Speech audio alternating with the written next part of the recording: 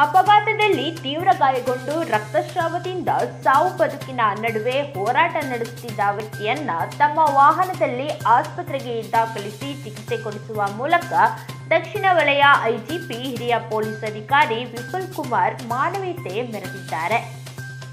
ಮೈಸೂರು ತಾಲೂಕು ಐರಳ್ಳಿ ಗ್ರಾಮದ ಶಿಕ್ಷಕ ರಂಗಸ್ವಾಮಿಯವರು ಮೈಸೂರಿನ ಸಿದ್ಧಾರ್ಥನಗರ ರಿಂಗ್ ರಸ್ತೆ ಮೂಲಕ ತಮ್ಮ ಬೈಕಿನಲ್ಲಿ ಗ್ರಾಮಕ್ಕೆ ತೆರಳುವ ವೇಳೆ ದೊಡ್ಡ ಆಲದ ಮರದ ಬಳಿ ಆಯತಪ್ಪಿ ಬಿದ್ದಿದ್ದಾರೆ. ಈ ವೇಳೆ ಬಿದ್ದ ರಭಸಕ್ಕೆ ತಲೆ ಒಡೆದು ರಕ್ತ ಸುರಿಯಲಾರಂಭಿಸಿದೆ. ಈ ಸಂದರ್ಭದಲ್ಲಿ ಮಲೆಮಹದೇಶ್ವರ ಬೆಟ್ಟದಿಂದ ಮೈಸೂರಿನ ಕಡೆಗೆ ಆಗಮಿಸುತ್ತಿದ್ದ ವಿಪುಲ್ ಕುಮಾರ್ ಅವರು ಅಪಘಾತವನ್ನ ಗಮನಿಸಿ ಕಾರನ್ನ ನಿಲ್ಲಿಸಿದ್ದಾರೆ. ಜೊತೆಗೆ ಸ್ಥಳೀಯರ ನೆರವಿನಿಂದ ತೀವ್ರ ರಕ್ತದಿಂದ ನರಳಾಡುತ್ತಿದ್ದ ವ್ಯಕ್ತಿಯನ್ನ ತಮ್ಮ ಕಾರಿಗೆ ಕೂರಿಸಿ ಆಸ್ಪತ್ರೆಗೆ ದಾಖಲಿಸಲು ನೆರವಾಗಿದ್ದಾರೆ.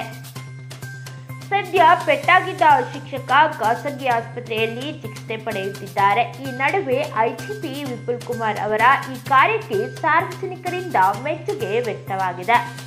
ಸಾವು ಬದುಕಿನ ನಡುವೆ ಹೋರಾಡುತ್ತಿದ್ದವನ ನೆರವಿಗೆ ಧಾವಿಸಿ ಮಾನವೀಯತೆ ಮೆರೆದ ಪೊಲೀಸರ ಕಾರ್ಯಕ್ಕೆ ಸಾರ್ವಜನಿಕರು ಹ್ಯಾಟ್ಸಪ್ ಹೇಳುತ್ತಿದ್ದಾರೆ.